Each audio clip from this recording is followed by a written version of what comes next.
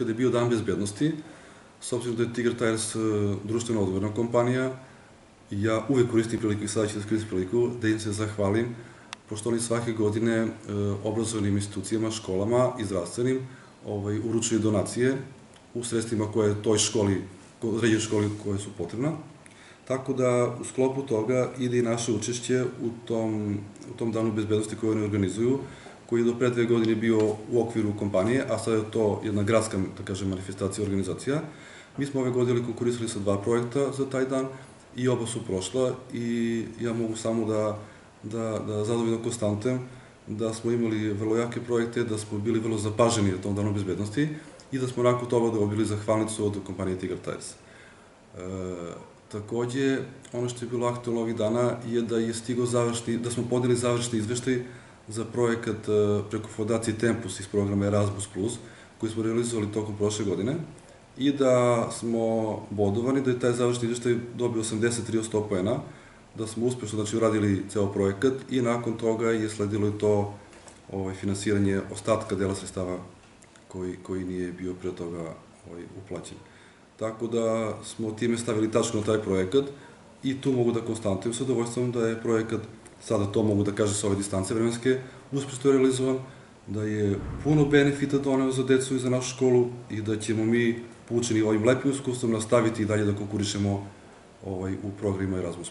To je program e, razmenu u okviru srednjeg stručnog obrazovanja i tu je osam naših učenika i profesor koji ih je pratio. Znači, svi oni su boravili 15 e, dana u, u Gabrovu, tamo su radili u njihovim restoranima, kujnama, kuhinjama,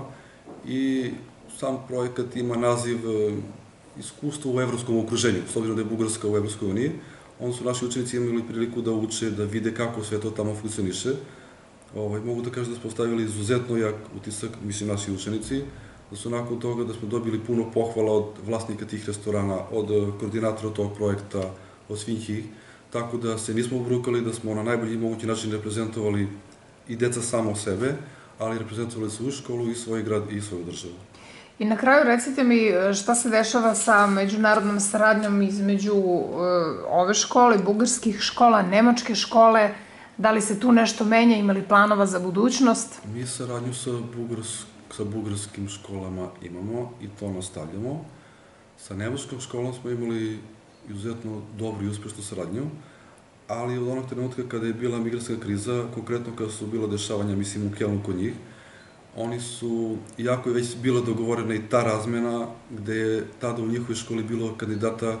više nego ikad koji su hteli da dođu kod nas i sve već je bilo govoreno, ali zbog migranske krize,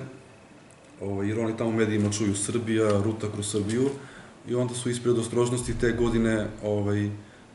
stopirali tu konkretnu razmenu već ugovorenu, Nakon toga smo mi sa njima stalno u kontaktu, ali se čeka neki pojedin trenutak, sad ne znam, što se nas tiče, mi smo uspeli raspošli za saradnju, vratno oni čekaju da prođe ta kriza i ne, ne znam šta. Ali, kažem, sa bugarskih školama nastavljamo saradnju, mi smo umeđu vremena aplicirali za još četiri projekta, ovaj, dva koja, da bude mislim, nismo mnogo ni očekivali od njih, nisu prošla, ali ova dva su još aktualni, čekaju rezultate tih konkursa. Jedan od, ti, jedan od ta dva projekta je izuzetno veliki, vrlo ozbiljan projekat, gde učestvuju e, sve zemlje Balkana. Tako da ne bih više pričao o tome, čekamo svaki dan da stigne rezultati tog konkursa i nadam se da ćemo proći.